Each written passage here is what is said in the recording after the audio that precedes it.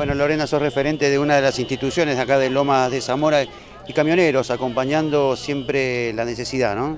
Sí, gracias a camioneros nosotros podemos tener lácteo para nuestra gente, mercadería, es súper importante la presencia de ustedes en nuestro barrio.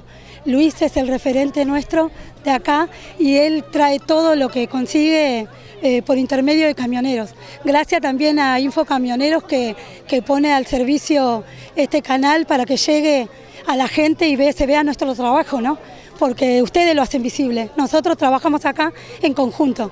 Bueno, contanos un poco cómo está la situación actual del país. Sabíamos que, que venía difícil, pero bueno, hoy se complicó muchísimo más.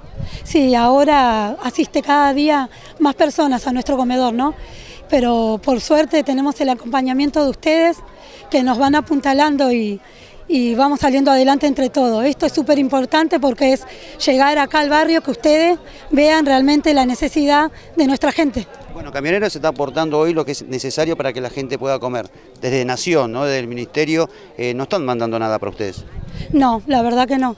Eh, de Nación, de provincia y del municipio hoy en día está todo muy difícil y entonces solamente contamos con los recursos eh, que nos dan ustedes.